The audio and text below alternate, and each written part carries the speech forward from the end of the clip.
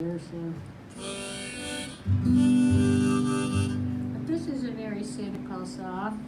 Uh, but the last one was real cheery, I.